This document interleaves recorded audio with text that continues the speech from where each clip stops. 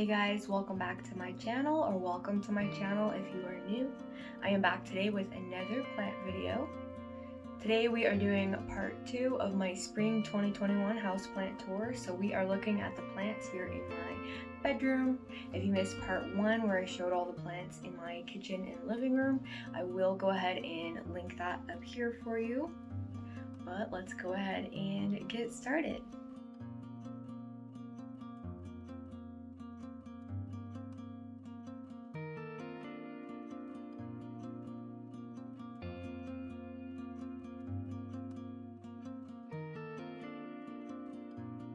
Alright, we are starting over here on my little dresser as usual. And the first one here is a Sansevieria Samurai. And then this one is a Cebu Blue Pothos. This was my first one that sadly started dying, so I had to propagate it a lot, but it is making a comeback. And then here I have an all fern terrarium. And if I get closer, I have some heartleaf fern and some button ferns, and there's a big staghorn in the middle there. And then I don't know the name of some of them, but really cool. I have never been able to keep ferns alive until I started putting them in here, and now they seem to be doing really well. Next to that, I have my Anthurium superbum, and a Hoya lacunosa. I still have it in its nursery pot. It's just chilling in this little wicker basket. And then I have a Euphorbia fire sticks, I think is this one. Some people call this one a pencil cactus. Then I have this little cube shelf over here. And right here I have a Sansevieria Moonshine that my friend Ashlyn gave me a couple years ago. And a Hoya pubicalyx. This one is a Royal Hawaiian Purple, so all of the new growth comes in kind of burgundy and then it fades to green. You can't really tell, um, you can kind of see on this stem down here, that red. And then here is a little oxalis. It was blooming the flowers are droopy now. This one is a Monstera adansonii. This one is the narrow leaf form. So I think this one goes by Friedrichsthalii. But I ended up chopping it down to the soil to promote bushier growth, and it's doing really well. Here is a black pagoda lipstick plant. It's not in the best condition. It had bugs when I got it last summer, and then I've kind of chopped it up like crazy, so it's just kind of ugly, but it is alive and it is growing. And then here is my philodendron Birkin. I think mine might start reverting soon because it's putting out some red there. I know they are bred from philodendron Congo Rojo, pretty sure. So that's okay with me, I like the red. This one is a Monstera Siltepecana. I ordered this one off of Etsy last summer. It was just one little vine, and look at it now. It's so pretty. Here is an aloe vera. Not much to say. And then here is my whalefin Sansevieria. I think I paid like $30 for this one at a nursery, and it was just this one big leaf at the time, and it grew this whole one in a matter of one week, the first week I got it. On this shelf, I have a Hoya Shepherdii. And then this one is Callisia repens. It's not very happy, but it is staying alive. I don't do too well with this type of plant, anything Tradescantia or Tradescantia adjacent. Uh, they don't really like me. Anyway, this one is a curly lipstick plant and it's kind of cool because the leaves start out looking flat like this and then as they get older they end up curling in like this and so if you look at the older leaves you can see how they curl in like that. It's pretty cool. And then on this shelf, I have my Peperomia clusiifolia. Some people call this one a jelly peperomia or Jenny peperomia. It's another one I chopped to the ground. Here is a peperomia hope. And then down here is my Hoya carnosa compacta. It's a very, very slow grower. Then here I have a little handmade terrarium. This is an old peppermint container, and in there I have a Nepenthes or pitcher plant, and then a bunch of vanilla planifolia cuttings. This one is a Hoya carnosa, just a regular old green one. And then this is Peperomia glabella. Next to the shelf, I have a couple things. I have a Hoya Chelsea, and then this one is my Dieffenbachia. I forget what variety this one is. I think it's a really common one though, but Jesse got me this one for our anniversary a few years ago. And then over here I have some cute little floating shelves here is my Marble Queen Pothos. This is one of my oldest plants. Still very beautiful, very happy, it doesn't ask for much. And then here is my Scindapsus pictus argyraeus. Mine has been very slow growing lately, and then I'm not sure what's going on with it. It seems to have some type of infection or something going on, but I think I need to cut off all these old leaves here. And then here is some type of Rhipsalis. I don't know the kind, I just thought it was cute. And then a Hoya retusa. This thing is also a really slow grower, but it does root pretty easily, which is interesting. And then up here I have a trailing jade. I think this one is actually some type of Senecio. And then another black pagoda lipstick plant. This one I got from a kiosk at the mall a couple years ago, and it came in this cute little watering can. I have this little side table over here next to my closet. Hello. And in this little window mirror thing, I have a Neon Pothos and a Marble Queen. I think I overwatered it recently. and then a Golden Pothos. Um, these have been in here for a few years. I just kind of trim them whenever they get too long. And then down here, hanging on my door, is a Dischidia riscifolia. Riscifolia, I'm not sure how you say it, but it's a million hearts plant. If you look at the leaves, they do kind of resemble little hearts. And then on the table, I have a little syngonium. This one is Maria Illusion. And then a Rhaphidophora tetrasperma. Grows super, super quickly. Down here is one of my oldest Hoyas. This is a Hoya carnosa. I got this plant before I even knew what Hoyas were. This one definitely started my addiction to Hoyas, and I love it so much. Here is a Hoya australis lisa. It's putting some cute little pink leaves out for me. Here is a very, very sad looking Peperomia pixie. Peperomias, in general, do not like me. I have another little table over here on the other side of the room.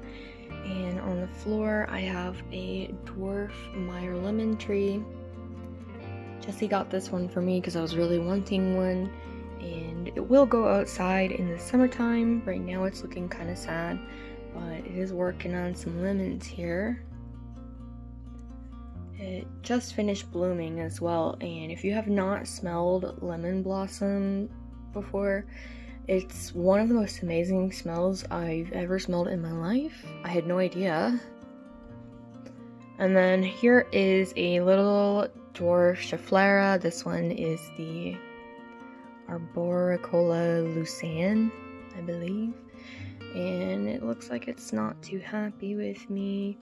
But I got this one at Walmart for like $3 a few years ago, and it doesn't grow that much but that's okay. It's still cute.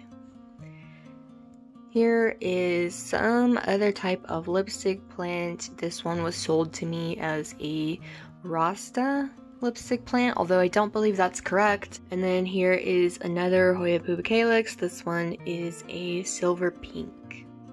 On the top of the table, I have my variegated lipstick plant. I've had this one for a few years and it is probably one of my favorite plants. It's one of my oldest plants as well. Right now it is flowering. It does this pretty much year round. And I love all the new growth because it comes in this really pretty purple pink color. Here is a little Hoya. It is labeled Hoya australis, although I'm not sure if that's correct or not. The leaves are very fuzzy. This right here is a Hoya australis. And this one goes all the way up here. And it's just kind of doing its own thing. I have this cute little mirror here that I thrifted. Hello. Okay, we're looking at the shelves on the other side of the wall. And here I have a Hoya nummularioides. I think it's really adorable. It has very fuzzy leaves. And a Hoya curtisii. And then this one is a Hoya lobii or lobii. I got it on Etsy last year and it was snapped in half, but I super glued it. And look how well it's doing now. It's crazy. This one is Hoya fungii. I have it in some leca. And then this one is super cute. It's really fuzzy. It's a Hoya linearis. I also got that one on Etsy. Here is a Hoya Crinkle 8. Some taxidermy butterflies and some pressed flowers. And then here is Peperomia Ruby Cascade. I'm very proud of this one because I was killing it for the longest time and it's making a huge comeback and it's doing so well now. This one is Hoya melliflua. I've had it for about a year now and it's only grown one new leaf, but that's okay. This one is Tradescantia baby bunny bellies. but it really does feel very fuzzy. I think it's aptly named. Here is a little cactus. I don't know how to pronounce the name, but there it is if you are interested. in these growing little bunny ears right next to the bunny's bellies. These are fake succulents. Okay, and I have another little cube shelf here and this one is Senecio mecanioides. I'm probably saying that wrong, but yeah, it is a succulent. Mine was not doing too hot, so I did cut it up a lot, and I'm propagating it, so I have two full jars of cuttings from that one. And then here is my Hoya multiflora. It is currently blooming. really interesting. I think the flowers kind of look like little dragon heads or something. This one is a Hoya kerrii. This one is Alba marginata, so it has the variegation on the outside. And then I also have the Hoya kerrii with the variegation on the inside. And mine doesn't put out too much variegation. I actually got it like this, but I'm hoping since it's in pretty bright light, it'll start putting out more white. I love it either way. This is some kind of cactus. I don't know the kind. I just got it because I thought it was really adorable. Jesse got it for me for Valentine's Day this year, along with that little turtle pot. This one is a Hoya carnosa. Here is my Hoya Crimson Queen.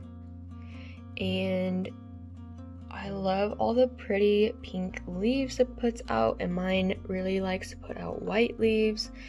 It has a whole stem right here that's all white. Of course, the white leaves are pretty useless, but they are pretty to look at. Here is a Peperomia tetragona. And then this one is a Hoya australis tenuipes. I got this one when it was only a few leaves and I did propagate it and it's also growing. And I forgot to mention this one, but this one is Hoya DS70.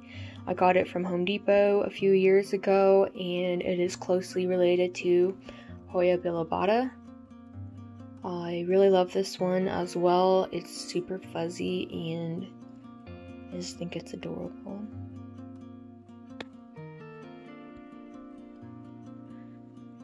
Moving down, we have my Hoya Chelsea. I have so many Hoya Chelseas, you guys. I just adore them. I pretty much purchase them whenever I come across them. And then this one is Hoya incrusata or incrustata, depends how you want to say it. Hasn't grown too much. This leaf, however, is all new. Here I have a Ceropegia woodii or string of hearts, and I am constantly trimming mine. I actually have some cuttings here in sphagnum moss. And then on this side, I have some Hoya curtisii cuttings and some Peperomia prostrata cuttings trying to root. Back there, I have another little makeshift terrarium. And in there, I have some variegated string of hearts cuttings and some string of spade cuttings. This one is another Hoya Crimson Queen. I actually combined three of mine to make this pot very full. But I had a ton of them and I really just wanted to save some space for more plants, so I put them all together and it seems to be doing just fine. Next to that, I have two little cacti. This one is a Gymnocalycium friedrichii, and then this one is a Euphorbia horrida. Uh, this one is putting a little baby out on top, which is really cute. Down here, I have some more Hoyas, and this one is a Crimson Princess because the white is on the inside instead of the edges. It's very happy and growing. And then this one is a Hoya macrophylla alba marginata. This one blooms for me pretty often and it is growing quite a bit. It's putting out this little red leaf here too. When it's in really bright light, the edges actually turn red, which is cool too. Here I have Senecio candicans or the angel wing Senecio. Mine kind of hates me, hmm. but that's okay. I'm hoping to put it outside over the summertime and see if it gets better. And then I have a Peperomia argyriae or watermelon peperomia. Is it argyriae or argyria? I can't remember. Anyway, watermelon pep. Here I have a little caralluma and then this one is a Philodendron Brazil. That's everyone on this shelf. And then in between my little cube shelf and my bookshelf here, I have just two plants. I have a Sansevieria Bantel Sensation. This is one I actually bought for my friend Ashlyn, and I had to repot it, so I ended up taking one of the pups And then I have a variegated Schefflera. Okay, now we are looking at this big bookshelf here. And these are the last plants I have in my bedroom. This one here is a Senecio macroglossus or variegated wax ivy. And mine is so happy and so pretty. I just love it. It grows really fast. It's already like almost to the floor. and it will wind around anything you put near it, so I'm always having to untangle it from other things. Next to that, I have another Peperomia Ruby Cascade. I actually bought this one as a replacement for my first one, which I thought was dying. And then a Peperomia Rana Verde. And then here is another Marble Queen Pothos. It's cuttings from my big one. And then I have some Hoya Crimson Queen cuttings in this little party glass. Down here I have a Hoya Curtisii. I actually have several of these. I think they are so pretty. They look a lot like string of hearts to me. And they just seem very like delicate and feminine. I don't know. I love them. And then here is my Hoya Bella.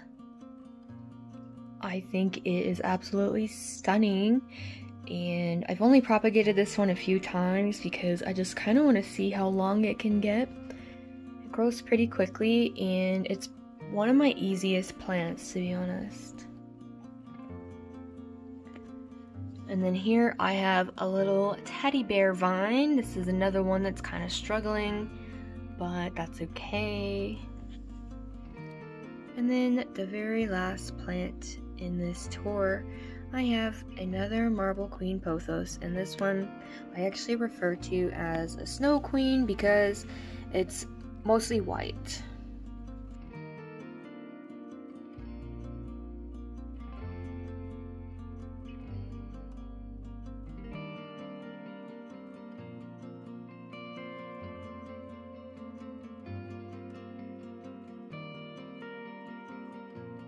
So that is everything for today's video.